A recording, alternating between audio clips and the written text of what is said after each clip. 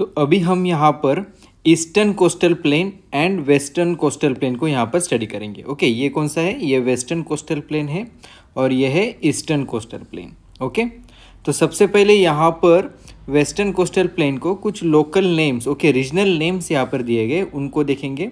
तो यहाँ पर ये जो रीजन है ओके ये यहाँ पर द्वारका आइलैंड है। ओके सॉरी द्वारका आइसलैंड से यहाँ पर है।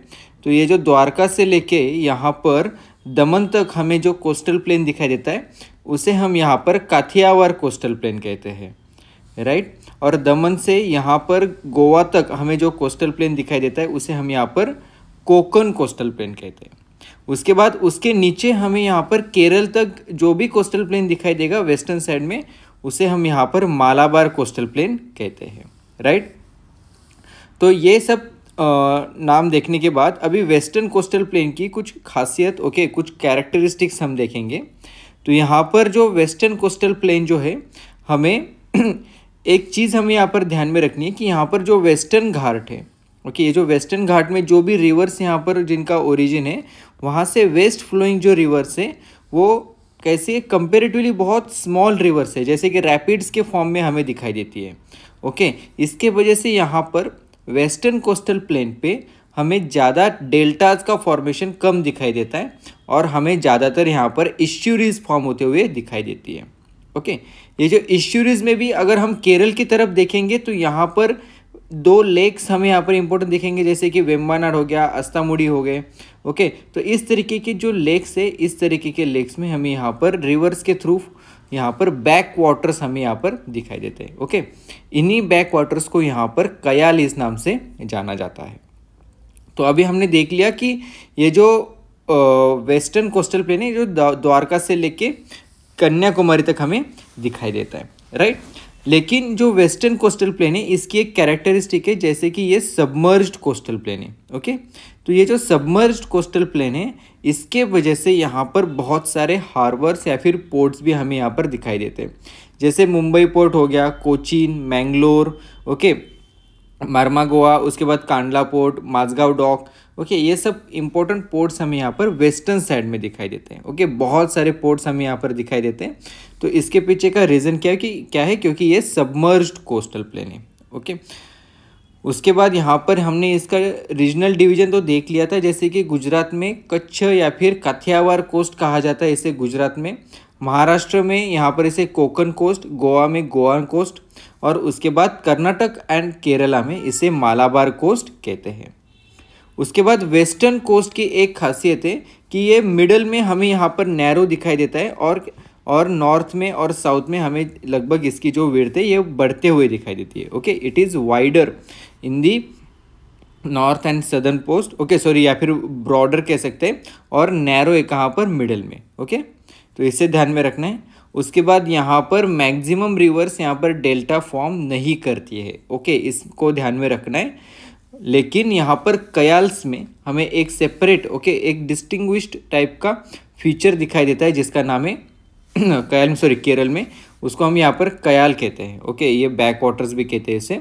ये जो कयाल का रीजन जो है, जैसे कि वेम्बनाड लेक आस्तामुड़ी लेक, यहाँ के जो रीजन है, यहाँ इस रीजन में कयाल्स किस चीज़ के लिए फ़ेमस है? जैसे फिशिंग हो गया इनलैंड नेविगेशन हो गया टूरिज़्म स्पोर्ट्स के लिए यहाँ पर ये फ़ेमस है ओके यहाँ पर एक इम्पोर्टेंट स्पोर्ट की एक्टिविटी भी होती है, जैसे कि नेहरू ट्रॉफी आपने इसके वीडियोस देखे होंगे, बहुत सारी लंबी लंबी ऐसी बोट्स होती है ओके वहाँ पर बहुत सारे लोग ऐसे बैठे हुए थे और इनके अंदर रेस होती है okay Vallam Kali boat race okay Nehru trophy जो वेल्लम कली जगह पर यहाँ पर ये बोट रेस होती है।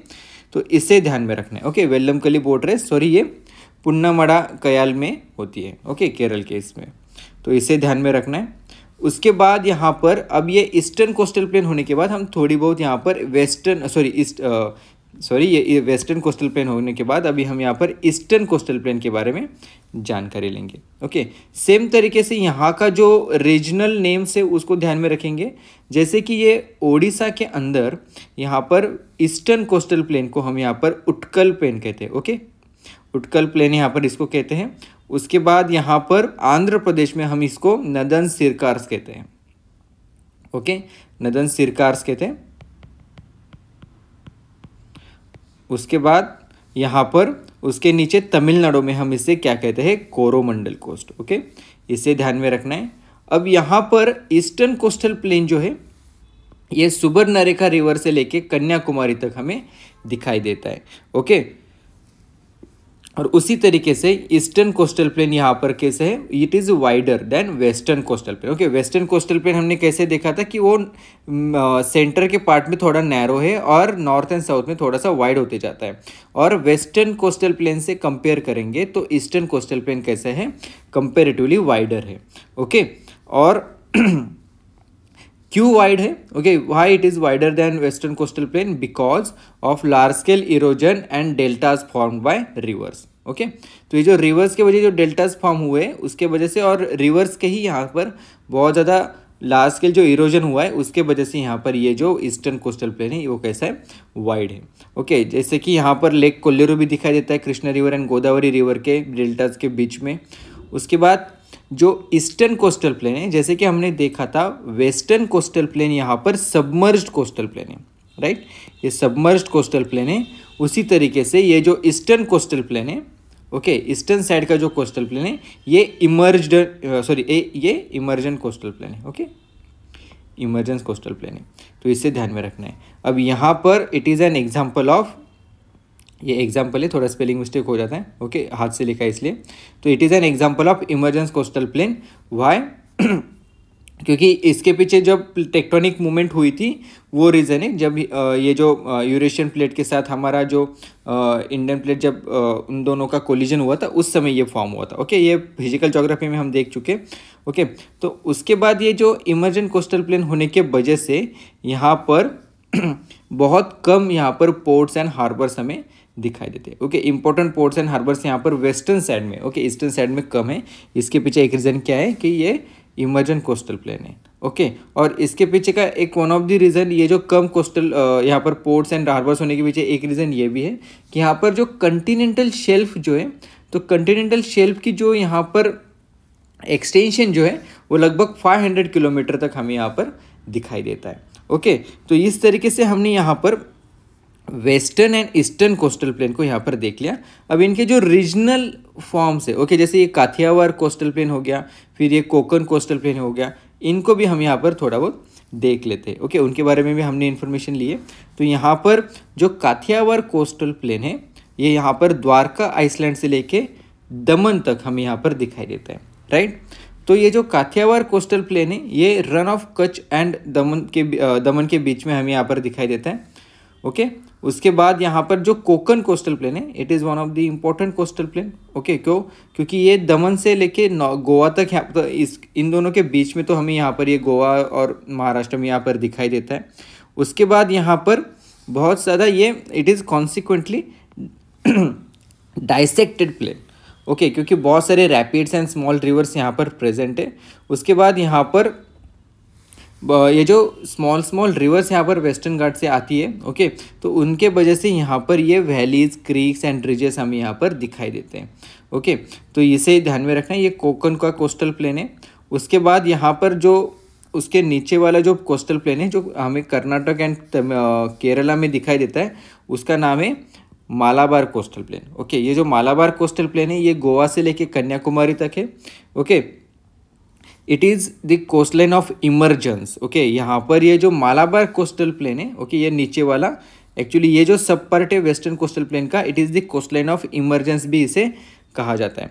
ओके okay, इसका जो सदर्न रीजन है यहाँ पर ज़्यादा रेनफॉल होता है। ओके okay, कहाँ पर? मानसून के रीजन में यहाँ पर इस एरिया में। क्योंकि मानसून एंट्री यहाँ से जब करेगा तो यहाँ पर बहुत ज़्यादा रेनफॉल होता है। तो इसे ध्यान में क्योंकि यहाँ पर इंपॉर्टेंट चीज़ ये है कि it is the coast line of emergence okay नीचे वाला पार्ट ओके सदन वाला पार्ट अब यहाँ पर उसके बाद जब हम ईस्टर्न साइड में देखेंगे तो उटकल कोस्ट जो है, जो सबसे ऊपर हमें ओडिशा में दिखाई देता है तो उटकल कोस्ट की खासियत क्या है कि it extends from the north of Subarna from the north of the Subarnarekha river to the Mahanadi delta okay Mahanadi delta जहाँ तक है, वहाँ तक हमें ये उटकल कोस्टल प्लेन दिखाई देता है। उसके बाद नीचे जो आंध्रा का जो कोस्टल प्लेन है, आंध्रा का कोस्टल प्लेन जिसको हम यहाँ पर क्या कहते हैं, नदन सरकार भी कहते हैं okay it extends from the southern limit of Utkal plains to Pulicat lake okay Pulicat lake जो आंध्र प्रदेश में वहाँ तक ये दिखाई देता है, और यहाँ पर बहुत सारे डेल्टाज दिखाई देते हैं ओके मतलब यहाँ पर दो इंपॉर्टेंट डेल्टाज है, जैसे कि कृष्णा रिवर का और गोदावरी रिवर का ये डेल्टा यहाँ पर हमें दिखाई देता है। ओके ये जो आंध्रा का कोस्टल प्लेन है वहाँ पर।